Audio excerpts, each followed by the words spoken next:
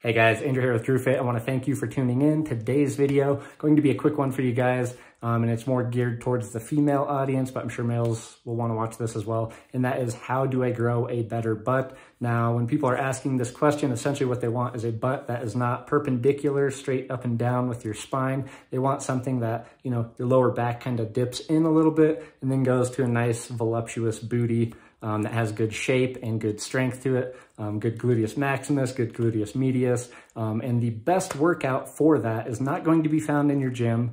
Um, and the reason being is a lot of these workouts that are great for targeting the gluteus uh, maximus and gluteus medius, a lot of people don't have the right technique and form to actually do this and activate those muscular groups, whether they're doing squats, deadlifts, Romanian deadlifts, um, pistol squats, whatever it is. Um, a lot of people are missing the mark here when they're doing those exercises, and that's why they're not seeing that great of results.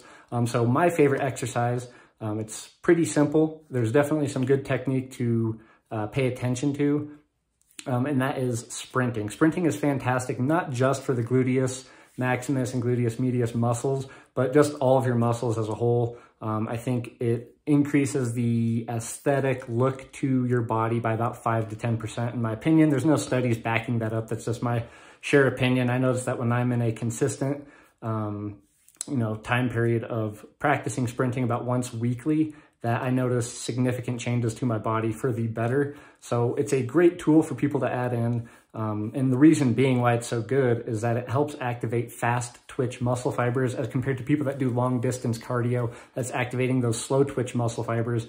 Um, and the difference being is fast twitch is for short bursts um, of strength that you want to utilize to where uh, slow twitch muscle fibers are used for long distance training. Um, so you'll see uh, the Olympics are just last week. You can tell a significant difference between the people that run the 100, 200 meter, even 400 meter, um, the difference of their body compared to the 1500 meter up to marathons where they are very stringy bodies, very uh, lengthy, long, flat looking muscles. Um, Ideally, I don't like that look at all. Um, I'm more geared towards the sprinting type body, um, and I think a lot of people are as well. Um, but specifically, if you want to build a better butt, look into sprinting. Um, get a good training regimen and train with a partner um, because it is kind of taxing on the body and uh, a safe bet to start off. Obviously, you want like a couple down and backs of 100 yards, just very light, um, doing different strides to, you know, loosen up those muscles. And then you want to jump into about four to six reps of about 50 yards to 100 yards, depending on where you're at with your current uh, state of health, um, of going balls to the wall as fast as you can. Um, and rule of thumb here, you want high knees, high elbows, keeping everything tight as you are running. Um, you can get into much, much more um, strict technique when doing this.